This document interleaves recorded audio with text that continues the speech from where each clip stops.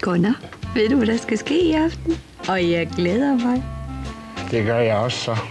Naboens lille Emil kommer og spiser.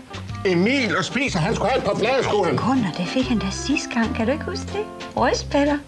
I dag skal vi have frikadeller. Frikadeller, ligesom hvor mor lavede dem. Nej, Gunnar. Fiskefrikadeller. Det har Emil bestemt. Fiskefrikadeller.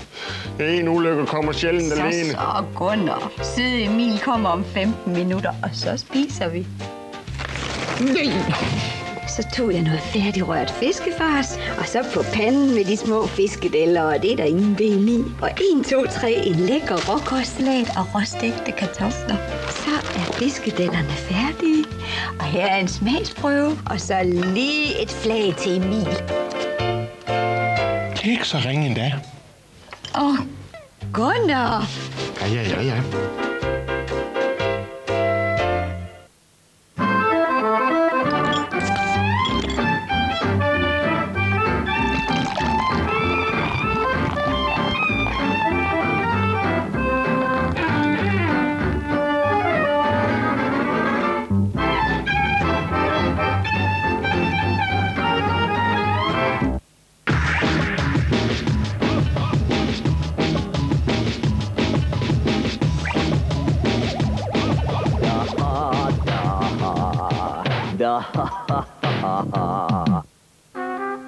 Nu kan du få buede vipper med en utrolig fylde.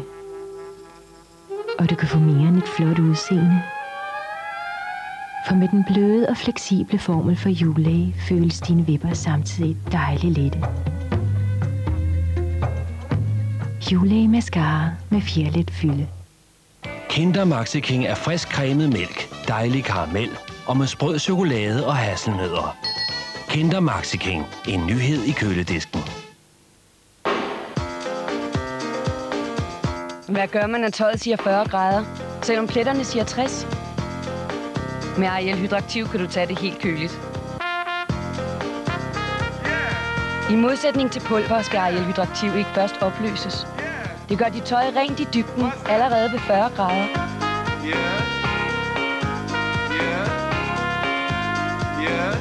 Ariel Hydraktiv. Hvorfor nøjes med mindre? For at din kat skal have det godt, behøver den næringsrig mad. Det nye Viskas Top er anderledes end andet tørfoder. Som hovedingrediens anvender vi de bedste stykker fra kyllingen, som blandes med fiberrige kornsorter af højeste kvalitet. Tilsammen giver det den optimale ernæring. Din kat kommer til at mærke forskellen, og du kommer til at se den. Ny Whiskas Top. Oplev forskellen. I just colored the life back into my hair. It's a first in permanent hair color. Laboratoire Garnier har skabt Natea Nutricolor. En hårfarvemaske, der nærer mindst en farver. It's like a beauty mask. Men til dit hår. Natea tilfører dit hår en nærende kur- og frugtolie, mens det farves. That's when you need it. You'll feel the difference. And the color, vibrant. To give you a lift Or change. or give you back the color you were born with. Natea Nutricolor hårfarvemaske. Garanteret af Laboratoire Garnier. Europæisk ekspert i hårfarvning til hjemmebrug.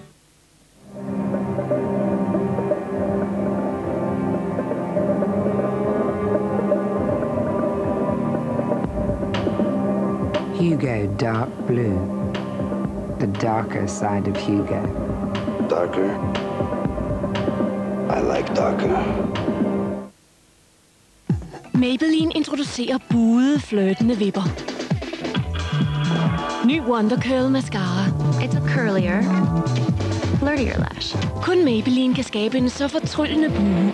Den specielle børste griber fat og buer vipperne. Den elastiske formel forlænger vipperne og fastholder buen. Giver ultra buede og udmodståelige vipper. No wonder it leaves you wide-eyed. Ny Wonder Curl fra Maybelline. Maybe she's born with it. Med et Tele Danmark Basis internetabonnement får du lige nu de første 100 kroner surftid gratis. Du får også din egen e-mailadresse. Du får direkte adgang til Opasia.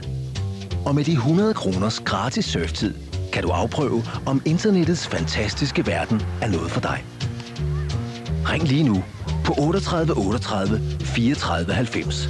Så sender vi dig et gratis Tele Danmark Basis internetabonnement. Is is what I looked like 10 years ago. I just want to look like a cream smooth pop icon goddess. Lucky I've got Max Factor Gold Liquid Foundation. Very nice. What's so special about it? It's got continual release moisture. Mm. It doesn't dry out, it doesn't wear out. It can help your skin look completely flawless. So if my acting isn't flawless, at least my skin will be. You said it. Indeed, I did. It's a good thing, because if you said it, you'd be fired.